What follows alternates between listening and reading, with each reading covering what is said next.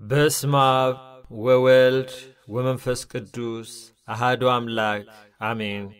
የመስቀል ደመራ በዓል አከባበር በኢትዮጵያ ደመራ ደመረ፣ ጨመረ ካለው የግዕዝ ቃል የመጣ ነው። ትርጉሙ መጨመር ወይም መከመር ማለት ነው። ኦሪታውያን ከመስከረም 15 እስከ 22 ለስምንት ቀናት በዓለ መጸለትን ያከብሩ ነበር። በዓሉን የሚያከብሩት በብዙ መንገድ ሲሆን እንጨት እየሰበሰቡና እየከመሩ ማታ ማታ በእሳት እያቃጠሉ በመጫወት ያከብሩታል። ኋላ ግን ተሻሽሎ የእሳት ማንደጃው ቀን መስከረም 17 ላይ ቆሟል። ያም ባህል ከዘመን አዲስ ሲደርስ የመስቀል ደመራ ተብሎ ተሰይሟል። የኢትዮጵያ ሕዝብ በታላቅ ናፍቆትና አክብሮት ከሚያከብራቸው በዓላት አንዱ መስከረም 16 ቀን ወይም በዋዜማው የሚከበረው የደመራ በዓል ሲሆን በማግስቱ በመላ ኢትዮጵያ ብሔራዊ ባህል ሆኖ ጥንትም ሆነ ዛሬ በታላቅ ድምቀት የሚከበረው የመስቀል በዓል ነው። የመስቀል በዓልን በኢትዮጵያ ማክበር መቼ ተጀመረ? ለምንስ ተጀመረም? እንደ ኢትዮጵያ ኦርቶዶክስ ተዋሕዶ ቤተ ክርስቲያን እምነት ሥርዓትና ትምህርት ለእመቤታችን ቅድስት ድንግል ማርያምና ለክቡር መስቀሉ የጸጋ ስግደት፣ ለስዕልና ለቅዱሳን የአክብሮት ስግደት እንደሚገባ ይታመናል። ስለዚህ የመስቀል ክብረ በዓል ከክርስትናው እምነት ጋር ተያይዞ የመጣ ነው። እንግዲህ ልብ አድርጉና ታሪኩን ለማወቅ ሞክሩም። ስለ ነገረ መስቀሉ የታሪክ መነሻ የሆነችው የታላቁ ንጉሥ ቆስጠንጢኖስ እናት ንግሥት እሌኒ ናት። እርሷም ከቁስጥንጥንያ ተነስታ ድሆች ክርስቲያኖችን ለመርዳትና አብያተ ክርስቲያናትን ለመሥራት በ326 ዓመተ ምሕረት ወደ ኢየሩሳሌም ሄደች። ኢየሩሳሌም በደረሰችም ጊዜም የጌታችን መስቀል ተአምራት እንዳያደርግ አይሁዶች በምቀኝነት ቀብረውት ነበርና የተቀበረበትን ቦታ የሚያሳያት በመፈለግ ብዙ ጊዜ አሳለፈች።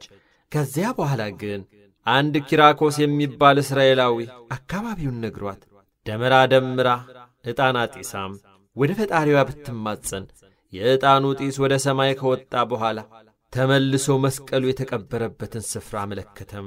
እርሷም በምልክቱ መሠረት ብታስቆፍር የጌታችን የኢየሱስ ክርስቶስን ክቡር መስቀል አገኘች። የእርሱ መስቀል ለመሆኑ ድውያንም በመፈወሱ አንካሳም በማብረታቱም ጎባጣም በማቅናቱ ታውቋል። ስለዚህ በየዓመቱ የመስቀልን በዓል ስናከብር ደመራ የምንደምረውና የምናበራው ኢዮዋ አበባዬ የምንለው ንግሥት እሌኒን አብነት በማድረግ ነው። በተጨማሪም ንግሥት እሌኒ መስቀሉን ባገኘች ጊዜ የደስታዋን መልእክት ለልጇ እንዲደርሰው ለማድረግ እንደ አሁኑ ዘመን ቴክኖሎጂ ስላልነበር በዚያን ጊዜ መልእክት ወደ ሩቅ ስፍራ ለማስተላለፍ ሲፈልጉ በየተራራው ቃፊሮች ወይም መልእክተኞች መድበው ችቦ በማብራት ይጠቀሙ ስለነበር በዚያ ዘዴ በመጠቀም የመስቀሉን መገኘት ወሬ ወይም ዜና ቁስጥንጥንያ እንዲደርስ ስላደረጉ ከዚያ ሲያያዝ የመጣ ነው። ንግሥት እሌኒም መስቀሉን ባገኘች ጊዜ በጣም ተደስታም ወዲያውኑ የቤተ ክርስቲያኑን መሠረት ጥላለች። የመስቀሉንም መገኘት ልጇ ቆስጠንጥንዮስ እንደ ሰማ ወደ ኢየሩሳሌም ሄዶ እናቱን ንግሥት እሌኒን አግኝቶ ብዙ ስጦታ አበርክቶላታል። ስለዚህ ከጥንት አባቶቻችን ተያይዞ በመጣው መሠረት አዲሱ ትውልድም በሙሉ በናፍቆት ይጠብቁታል። የመስቀልን ወይም የደመራን በዓል ዛሬም እንደ ጥንቱ ካህናት አባቶቻችን ስለ መስቀል ታሪክ ለደመራ በዓል ለሚሰበሰበው ሕዝበ ክርስቲያን አጥጋቢ ትምህርተ ክርስትና ይሰጥበታል። ደመራው ተባርኮ ይቀጣጠላል። ጌታ በመስቀሉ ኃይል የፈጸመውን ድንቅ ነገር ወይም ታምር በማውሳት ካህናትና ምዕመናን በኅብረት ሆነው በልደቱ ፍስሐ፣ በጥምቀቱ ንስሐም፣ በመስቀሉ እዮሃ እያሉ በዓሉም በተድላና በደስታ እናከብራለን። ሕዝቡም ኢዮዋ አበባዬ መስከረም ጠባይም መስቀል ኃይላችን፣ ጽናችን፣ ቤዛችንና መድኃኒተ ነፍሳችን ነው በማለት ልዩ ልዩ የነገረ መስቀሉን ታሪክ የሚያበስሩ ጥቅሶችን በመያዝ ሕፃናት ልጆችም ሆኑ አረጋውያን በጠቅላላው ደስታቸውን በመዝሙርና በእልልታ ይገልጻሉ። እናት ቤተ ክርስቲያናችን በየትኛውም ዓለም የሌለ ልዩ ሃይማኖታዊ በዓል አላት።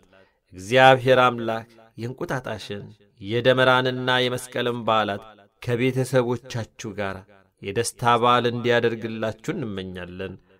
ለዘላለሙ አሜን።